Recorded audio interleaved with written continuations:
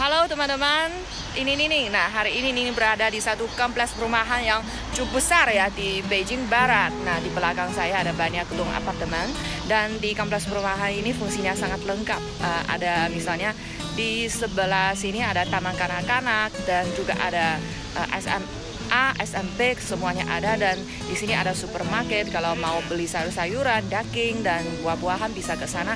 Sebelah sini ada ada beberapa toko sayur yang kecil juga. Nah, tetapi uh, ini hari ini juga mau beli sayur-sayuran tetapi tidak mau ke supermarket. Mau ke mana? Namanya truk truk sayur. Nah, kalau di sini nggak jelas ya. Nanti saya bawa Anda jalan-jalan ke sana untuk ikut saya beli sayur-sayuran ke sana. Truk sayur itu adalah semacam pasar bagi. Nah, setiap minggu dia dibuka 3 hingga 4 kali dan kebetulan hari ini ada. Nah, coba ikut Nining dia lihat ke sana. Tetapi jangan lupa harus pakai masker juga ya. Hmm, ayo. Banyak ibu-ibu yang mau beli sayur-sayuran ke sini. Kenapa saya bilangnya truk sayur ya? Justru karena ada satu mobil, uh, mobil yang besar itu sepertinya truk dan dia akan membawakan uh, sayur-sayuran dari pasar grosir ya dari tempat yang lain bawa ke sini untuk dijual di sini. Versi.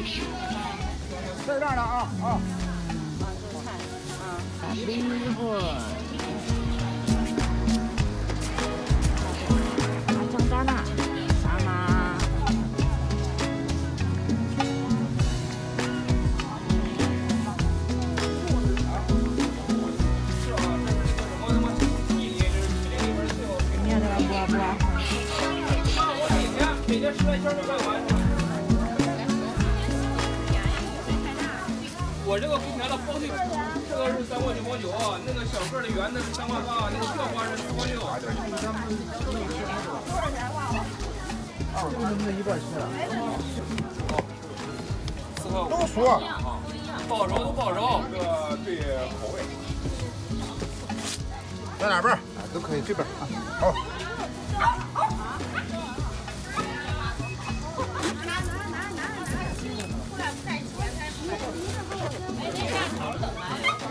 大伙讲玉米怎么卖的十块钱五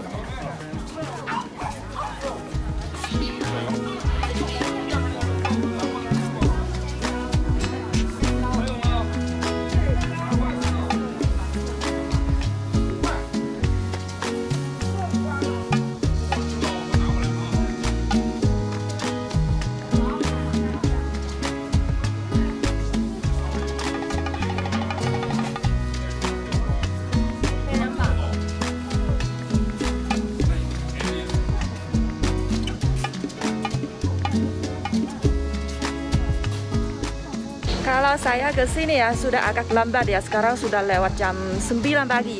Nah, biasanya kalau orang tua saya ke sini mereka jam 7 jam 8 paling 8 ya mereka sudah ke sini. Jadi sekarang ini hanya eh, sisa-sisa uh, saja tidak tidak banyak ya.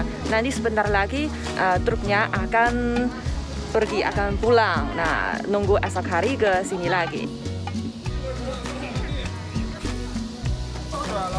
沈麦老，青藏大铁。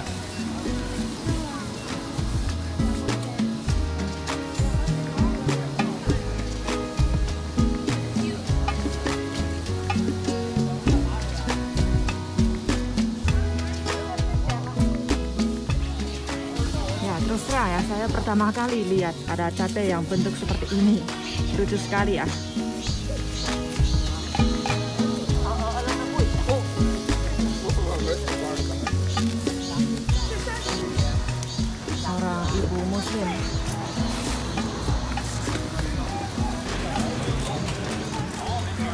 Biasanya pakai satu tas seperti ini untuk bawa sayur-sayuran.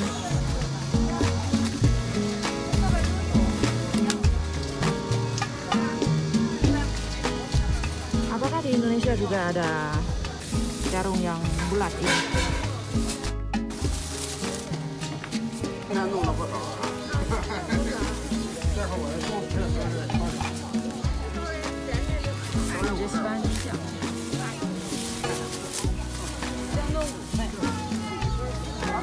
十十块钱五个。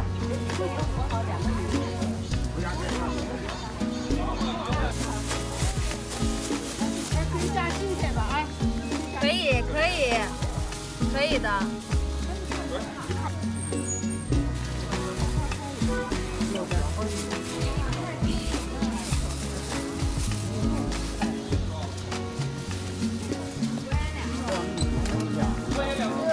打打呼。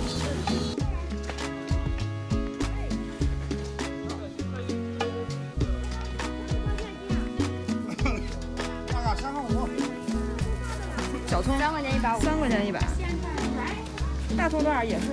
大葱三块钱一把。